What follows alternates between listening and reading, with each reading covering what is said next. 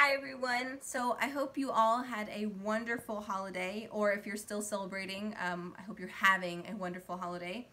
Uh, we had a great Christmas, and in my last video, I shared what we got our kids for Christmas. And in this one, I would like to share with you guys what I got for Christmas. I don't think I did this last year, and I got like such sweet, thoughtful gifts this year. Um, not that I didn't last year. Um, but I really, I got some great gifts this year and I just wanted to share them because they didn't really, they aren't going to really fit into any other type of video and I just want to share my cool gifts that I got. So I'm just going to jump in and show you what I got for Christmas, what mom got for Christmas. Uh, let's see. Now the first thing is this cute, uh, and excuse my voice, I'm sick, obviously, um, but it's not going to keep me down. I got this cute, uh, wooden spoon for my seven-year-old. She picked this out for me. It is a Woodburn spoon. It's got a cute little fox on there and then a heart here. And then I'm not, I'm assuming this is like, what is this? Hand painted, baby? I think it's hand painted. Uh, she picked it out off of Etsy and it's indigo spoons in case you're curious. Uh, wood burn spoon. So I thought that was really cute and thoughtful of her to get me to go along with uh, what my kids got me, my 10-year-old picked this gift out for me. Does anyone recognize who that is? Uh, we recently studied, um, they got to pick two powerful women, strong women, uh, women of history, you know, kind of a broad category of women to study. My seven-year-old picked Amelia Earhart, and my 10-year-old picked Ruth Bader Ginsburg, who is still alive. Um, and then I sort of got into Ruth as well, like when we were reading our little uh, children's book biographies, and then we rented a documentary about her, and then now I'm reading a biography, and I just got really excited. And I saw this online one day when I was just Googling um, Ruth Bader Ginsburg stuff, and my 10 year old noticed this and went back and told my husband that this is what she would like to get me for Christmas. But it just says Merry Resistmas on it. And I just, I love it. Really thoughtful, thoughtfully picked out gift for my 10 year old. Now, another thing that I got, this is from my husband, and this is just um, a Bluetooth car thing. I don't know the correct name for it. Uh, it's a Lecwave. But he got this for me so that I can play my podcasts and audiobooks in the car without fooling around with that cord. Does anyone know what I'm talking about with the cord that you plug into your phone? It looks like this and then you plug it into your car, then you plug it into your phone um, so you can play your audiobook or your podcast through your speakers. This is just like a Bluetooth device. This charges this and and then this is the part where you plug into your uh, car and then you don't have to plug anything into your phone. You just go to your settings and hook it up somehow, some Bluetoothy technology way. And then you can just broadcast what you're listening to and you don't have to deal with a cord. So that was really thoughtful. I'm just someone that gets really aggravated with cords and I'm always losing them. Our phones um, are two different uh, types of ports on them and he uses his to listen to stuff and then when it's my turn to listen I'm panicking because I can't find my cord um, so that was just a really thoughtful gift that he got for me now I have one gift I'm saving for last because it's like my favorite gift um, another thing is we have a tradition where we go to the bookstore on Christmas Eve. It's just something we do. We started a few years ago. Usually we see a movie. This year we didn't. We just went to the bookstore and out to eat. Um, mainly because we have a one-year-old now. Excuse me. I hate being hate being sick, but I'm I want to make videos. Uh, so bear with me. So we went to the bookstore and everybody picked out a book or books and I picked out two and the first one that I picked out is What Alice Forgot by Liane Moriarty. I have read all of other uh, the other Liane Moriarty books except for, let me check this real quick, except for The Hypnotist Love Story. Um, I just haven't read that one yet.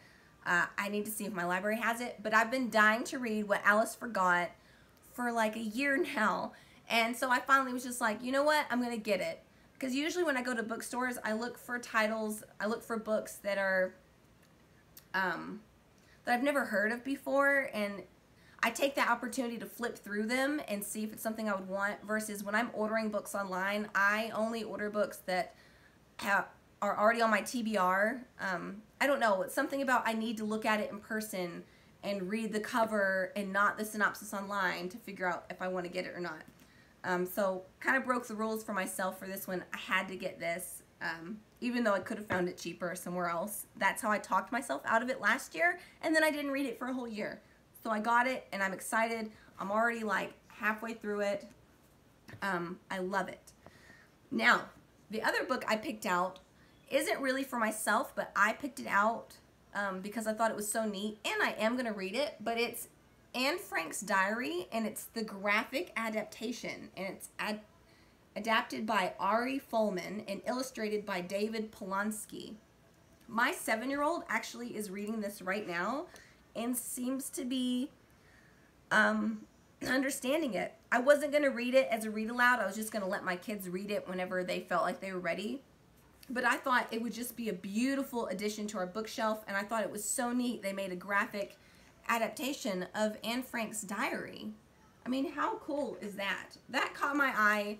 It was on the table as soon as we walked into the bookstore, and I snatched it up immediately. Um, they do a good job of catching your attention on that first table or those first few tables when you walk into a bookstore and they're like, hey, look what's new. I was like, all right, take my money. I'm buying it. But it's just, it's gorgeous and I think it helps make it so, um, so much more relatable for kids because sometimes they, uh, you know, they prefer graphic novel type things. And I don't usually read graphic novels, but this, this got me excited. So I'm just going to show you a few more pictures yeah, it's just her whole diary except illustrated, basically. It's wonderful. Now to wrap things up, I'm to show you the very last present I got. And this was picked out by my husband for me. And I just adore it. He tricked me. Let me give you a little story. He tricked me. Um, he wrapped it up and then he put it in a bigger box and then surrounded it with a bunch of like butter boxes and cracker boxes and things. And so I was opening this and like basically pulling trash out of a box. I was like, what is going on? When I got to the prize, I totally squealed. Um, he got me Watership Down by Richard Adams. I already own Watership Down and I love it. Um, I've raved about in the past. It's one of my most favorite books I've ever read in my entire life. It's so gorgeous but he got me this huge um, Watership Down with this uh, like a custom burned uh, leather burned cover. Uh, he ordered it off of Etsy and I don't know where he ordered it from so I can't share that shop with you but you could probably just search on Etsy and find it. But um, so the person that made this used uh, like I guess a wood burning tool. I think you can use those on leather as well unless they're like they make separate leather leather burning tools. But I just love this. And you know what's extra special about it that he didn't realize is, let's see if I can find one. This actually has um, some pictures in it. Not a whole lot, but gorgeous, gorgeous illustrations. I love this. This is like, smells good. It's like my favorite present that I got. It's so pretty. And it also, um, the the person who made this cover also burned some decoration on the back. But yeah, like a handmade leather cover, cover for this huge Watership Down. So that is what I got for Christmas. It was Mom's Christmas haul. Um, all wonderful presents, so thoughtful. Um, some I picked out for myself because that is part of my Christmas present is to go to the bookstore on Christmas Eve. Um, but I was I've been really happy with what I got this year. Um, not that I need things, but you know, it's nice when people pick out really thoughtful gifts and don't just spend money on, you know, whatever. Um, so was really pleased and really like touched by the love that my kids and um, my husband showed me by getting these gifts for me.